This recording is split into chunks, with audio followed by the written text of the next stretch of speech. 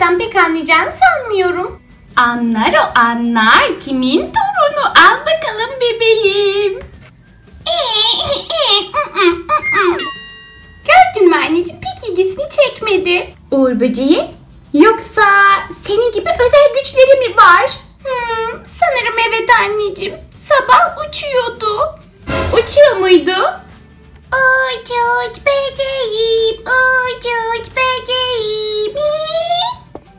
Peki başka? Hiç normal bir bebek özelliği yok mu? Var anneciğim emziği çok seviyor ve de ağlıyor. Ehe ehe ehe süt süt. Ha bir de süt içmeyi çok seviyor. İyi iyi aman çocuğum süt içsin. Süt içmek çok faydalı. Al, al torunum benim sütünü iç bakalım. Şey bir de anneciğim çok güzel bir özelliği daha var. Neymiş o? Şans getirmesi. Oo, oh la la!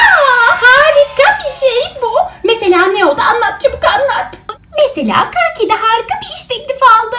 Ondan sonra milli piyango çıktığını öğrendik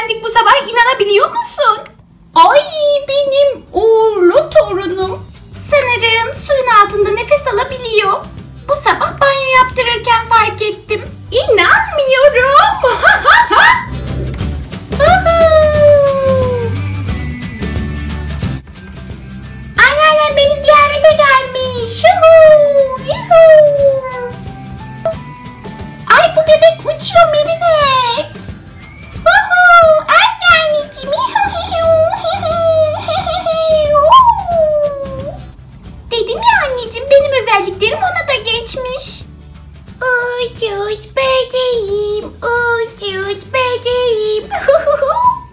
Uç uç böceğim. Ah burada su var. Suya bayılırım. Ay Uğur böceği çıkart şunu. Boğulacak çocuk. Dedim ya anne suda nefes alabiliyor. Ay torunum torunum çık şuradan.